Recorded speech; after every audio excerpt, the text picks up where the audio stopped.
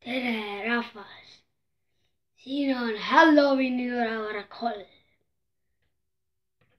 ja mul üks Halloweeni konkurss, kus võib võita endale suubi juurde, Strawberry juurde.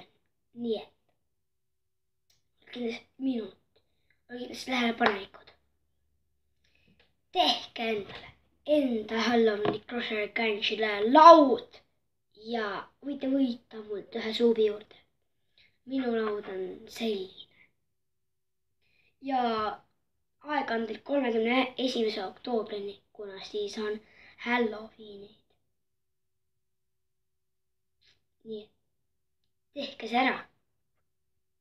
ja olete Halloweeniks valmis. tšauke